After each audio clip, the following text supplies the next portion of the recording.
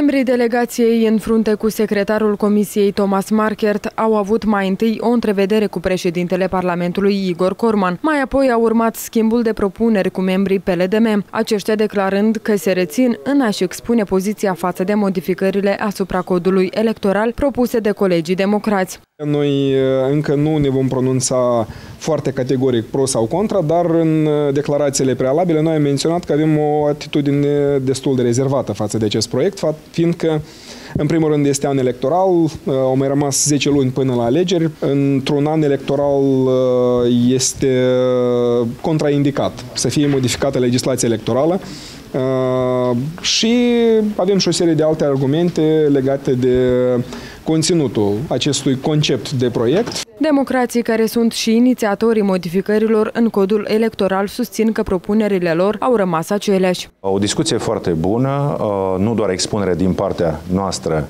ca și autori acestei propuneri, uh, și runda de întrebări-răspunsuri. Am făcut și un schimb de uh, opinii referitor la diferite sisteme electorale existente. Cel puțin, noi am pus în evidență acel factor că un atare sistem uh, mixt ar întări, pe de o parte, legătura dintre electorat, populație, uh, pe de o parte, și uh, parlamentar, pe de altă parte. Totodată și alți deputați neafiliați susțin schimbările în sistemul de vot pentru că și nu doar spre unul mixt, dar listele de partid să fie votate cu vot preferențial.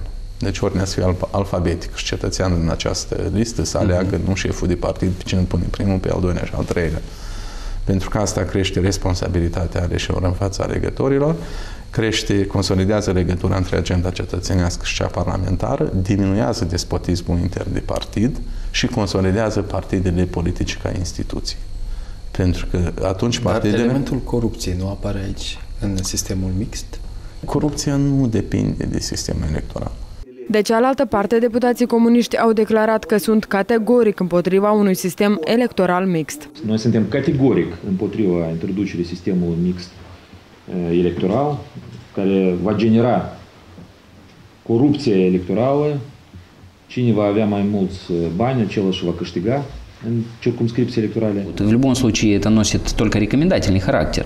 И я думаю, что мы услышим в очередной раз, как и при случае с избиранием президента. Este vorba despre un caracter consultativ. Eu cred că vom auzi și de această dată, ca și în cazul alegerii președintelui, aceleași răspunsuri. Așa și acum, Comisia va da un răspuns evaziv. Vor fi efectuate aceste modificări deoarece guvernarea de acum înțelege că actualul sistem electoral nu îi va aduce la putere. что при нынешнем избирательном кодексе не видать им власти.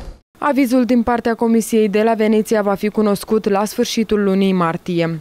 So uh, the Venice Commission is here on a fact-finding visit and we will adopt our opinion at our next session. Comisia de la Veneția este aici, însă vom adopta o opinie în următoarea sesiune, în luna martie. Ar fi prematur din partea mea să spun o opinie. Poziția partidelor politice din Moldova este diferită, deci ei nu au o poziție comună. Different parties vary, so there is no common position of the, of the different parties.